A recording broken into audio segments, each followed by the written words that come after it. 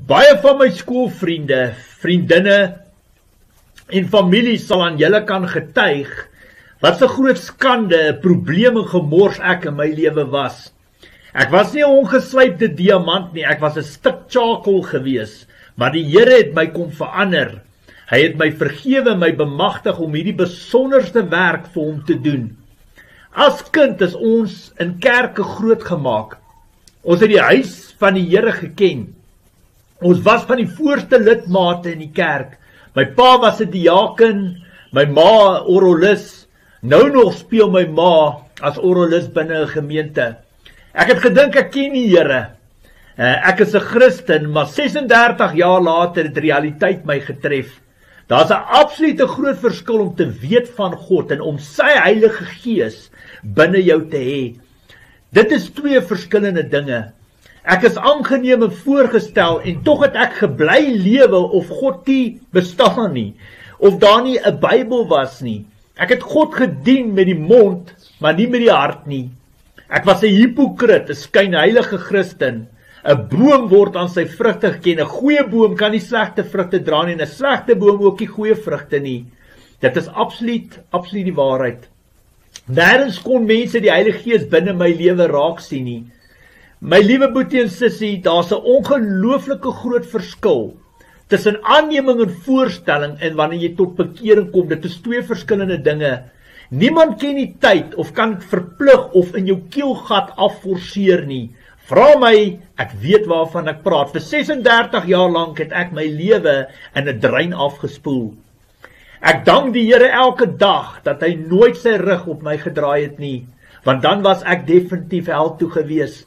In Handelinge 8 lees ons van 'n man met die naam Simon wat net soos ek die realiteit van ons geloof ervaar het.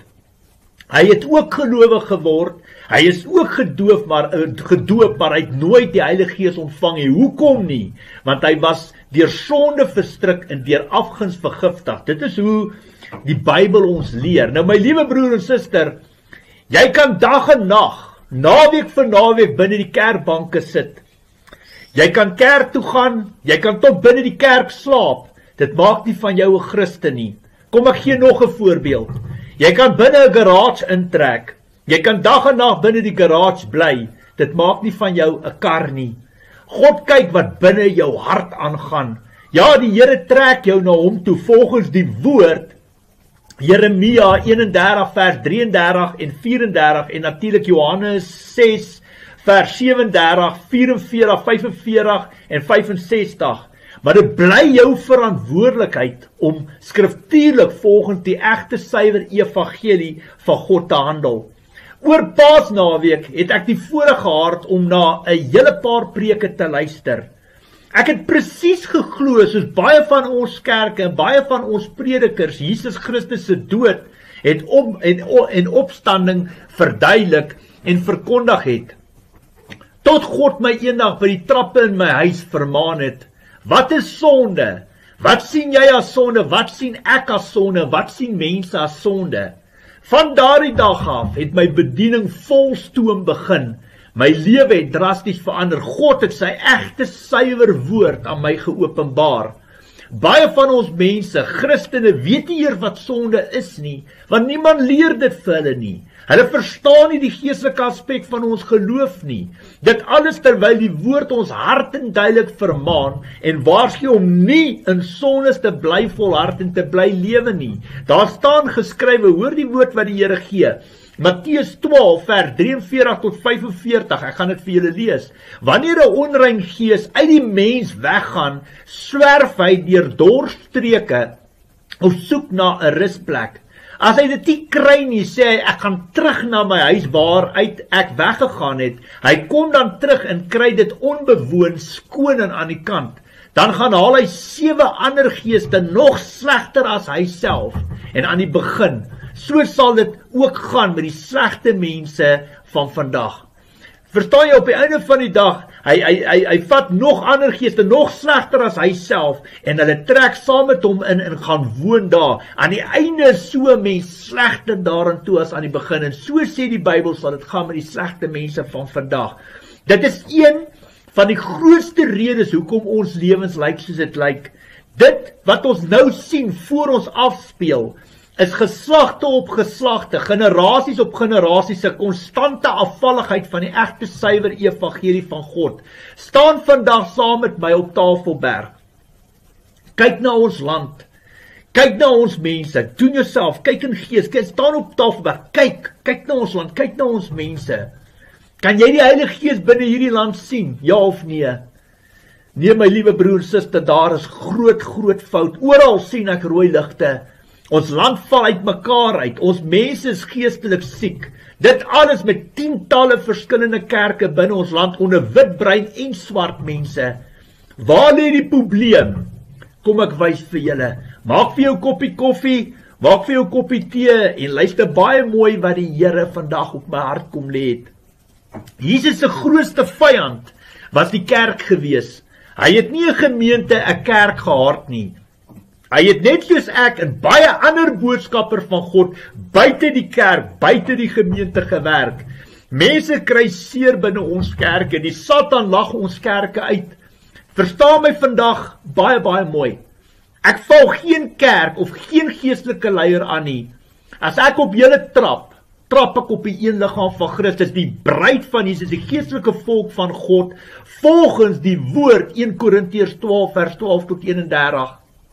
Die woord leer vir ons in Matteus 18 vers 15 tot 17, ekskuus tog, om met mekaar te praat as ons ongelukkig is oor iets.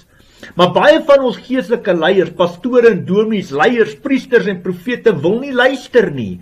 Hulle is hoogmoedig, eie wys en hardkoppig. Niemand kan hulle iets leer nie, veral nie as jy nie soos hulle geleerd of gekwalifiseerd is nie. Net soos die hoofpriester Kajafas wil hulle nie luister nie. Satan maak hulle geestelik blind en doof vir God se woord. Dis absoluut die waarheid. Daar staan geskryf as een blinde ander blinde lui val albei binne die gat of binne die sloot. En dit is absoluut die waarheid. Daar's baie bloed op julle hande. Ons kerke maak ons eie mense dood volgens die woord 1 Korintiërs 11 vers 30. Alles oor die ongepaste deelname aan die nagmaal. Christene gebruik nagmaal sonder dat daar enige sondebrys of bevryding gedoen word. Jesus het bevryding aan ons kom voorstel, my liewe broers, suster, luister baie mooi. Jesus die seun van God, uh um die Christus, die Messias, Immanuel God by ons. Hy het vir ons, hy het bevryding aan ons kom voorstel. Daar's 'n absolute groot verskil tussen sondebelydenis en bevryding. Dit is twee verskillende dinge. Hoor julle wat ek sê? Jou liggaam bestaan uit 'n siel, gees en vlees uit. Vir elke aksie en vlees is daar 'n reaksie op jou siel en gees. Jesus het self demone uit mense uitgedryf. Die 72 in Lukas 10 is deur Jesus bemagtig om demone uit te dryf.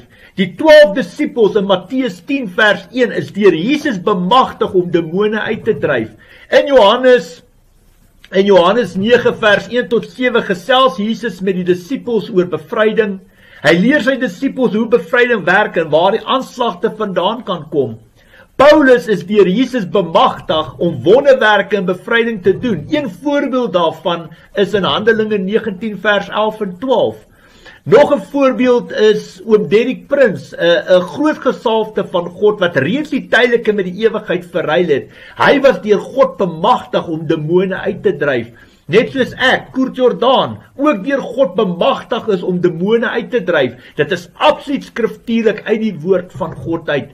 Die grootste impak Die grootste impak en bewys van bevryding kan ons in Lukas 8 vers 26 tot 39 kry. Dit is waar Jesus Legio uit die besetene van Gadara uitdryf binne die varke in. Van daar af was die persoon weer normaal soos al die ander mense wat in die land gewoon het. Verstaan jy, na die na Jesus die bevryding, daai legio uit die besetene van Gadara uitgedryf, was daai persoon net soos ek en jy, was normaal soos die mense daarso. Die Bybel beskryf dit vir ons.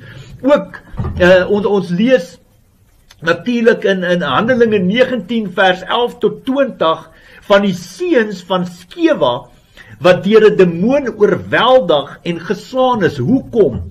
Want God het hulle nie bemagtig om die werk vir hom te doen nie. Hoor julle?